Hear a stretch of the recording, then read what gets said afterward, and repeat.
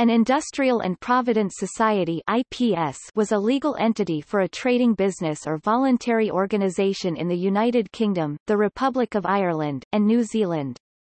The name is still used in New Zealand, the Republic of Ireland and within the UK in Northern Ireland. Recent legal developments in Great Britain include the Cooperative and Community Benefits Societies Act 2014, which has renamed these societies as cooperative or community benefit societies.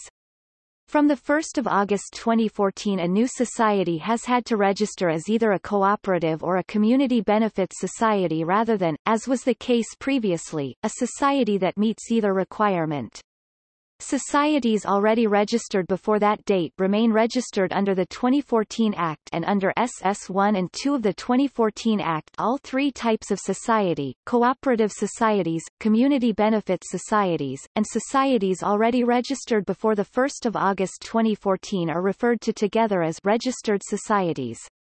However, for administrative purposes the three types of society are categorized separately. The Act applies to Great Britain but not Northern Ireland.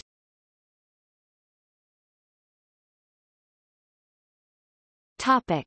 Categories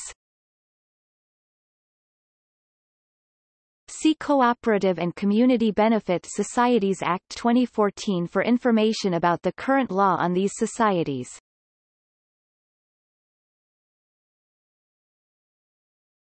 Topic. History 1965 to 2014 In 1965, an Act of Parliament came into effect called the Industrial and Provident Societies Act 1965.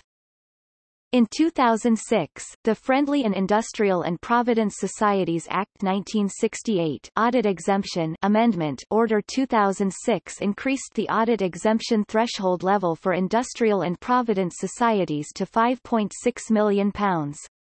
Also the Charities Act 2006 removed certain exemptions of charitable IPSs in England and Wales. From that point, charitable IPSs had to register with both the FCA and the Charity Commission, except registered social landlords, who register with the Tenant Services Authority. Since 2010 the IPS laws explicitly name cooperatives in their titles. The Industrial and Provident Societies Act 1965 was renamed Cooperative and Community Benefit Societies and Credit Unions Act 1965. In 2011, the legislative reform Industrial and Provident Societies and Credit Unions Order 2011 increased the maximum shareholding limit, changed the date of submission of the annual return, permitted children to be members, and allows the publication of unaudited interim accounts. In January 2012, the UK Prime Prime Minister, David Cameron announced a project to consolidate all the legislation applicable to industrial and provident societies to be passed by 2015. There was some uncertainty as to how far new developments would address the problems with the legislation.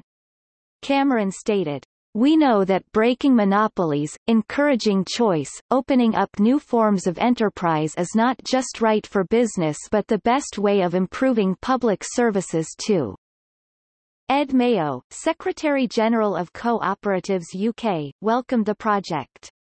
In mid-2012, revision of laws for cooperative was in its early stages. Some felt the reforms did not deal with certain key problems. Changes to the registration system under the Financial Services Act 2012 which splits the Financial Services Authority into the Financial Conduct Authority FCA and the Prudential Regulation Authority PRA took effect on 1 April 2013. The registration function for societies was transferred to the FCA while the prudential regulation of credit unions was transferred to the PRA. In September 2013, the English and Scottish Law Commissions published a draft consolidation bill and related documents for consultation. Earlier that year, the UK Treasury, which is the department responsible for legislation for societies, published a series of proposals to increase the holding limit for withdrawable share capital in societies to at least £31,000, to apply insolvency rescue procedures to societies, and to change the rules applicable to their registers of members. Draft regulations linked to that consultation were also available, having been circulated to a small number of people. Those drafts and other materials, including a private member's bill to liberalise the use of share capital by societies presented to the UK House of Lords were explained and brought together online. In 2014, the Cooperative and Community Benefit Societies Act 2014 was given royal assent.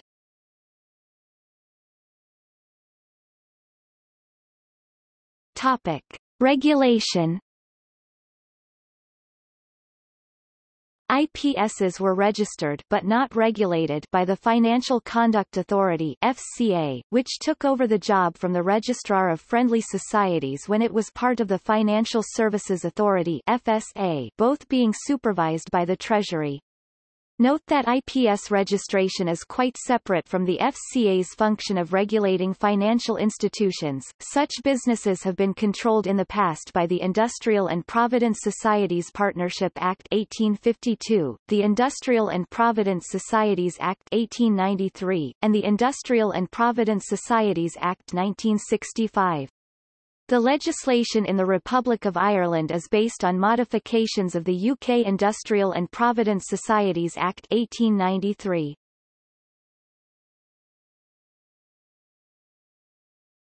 Topic. Legislation Industrial and Provident Societies Partnership Act 1852 Industrial and Provident Societies Act 1893 Industrial and Provident Societies Amendment Act 1913 Cooperative and Community Benefit Societies and Credit Unions Act 1965 Industrial and Provident Societies Act 2002 Cooperative and Community Benefit Societies Act 2003 Cooperative and Community Benefit Societies and Credit Unions Act 2010 Financial Services Act 2012 Cooperative and Community Benefit Societies Act 2014 Topic forms of financial capital Unlike a company limited by guarantee, an IPS generally has a share capital. However, in a not-for-profit IPS the share capital may be limited to a nominal amount. Both types of IPS have a share capital, but it is usually not made up of equity shares like those in a company limited by shares, which appreciate or fall in value with the success of the enterprise that issues them. Rather they are par value shares, which can only be redeemed if at all at face value. The profits and losses of an IPS are thus the common property of the members. The share typically acts as a membership ticket, and voting is on a one-member one-vote basis. The maximum individual withdrawable shareholding is currently set at £100,000 although other IPSs may hold more shares than this. The Legislative Reform Order Industrial and Provident Societies and Credit Unions Order 2011 removed the limit for non-withdrawable shares. Since 2006, the FSA has been willing, in principle, to permit societies to have non-user investor members providing certain conditions are met and this, in combination with the removal of the £100,000 holding limit for non-withdrawable shares, may open up wider possibilities for cooperatives to raise finance from investors while maintaining user control. It may be withdrawable share capital, an unusual form of finance which is treated as equity but may be withdrawn subject to specific specified conditions, and is relatively cheap for small cooperatives to raise as it is exempt from certain regulations applicable to conventional share issues regarding the publication of a prospectus. However, an IPS with withdrawable share capital is not allowed to carry on a banking business, presumably because a withdrawable share capital would make it impractical to ensure capital adequacy requirements are continuously met.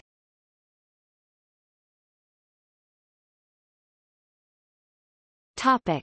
Examples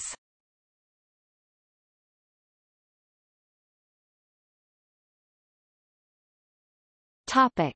Community benefit societies Broadband for Rural North FC. United of Manchester Fordhall Community Land Initiative Greater Manchester Tree Station Manchester United Supporters Trust RLLM UK Topic: Cooperatives.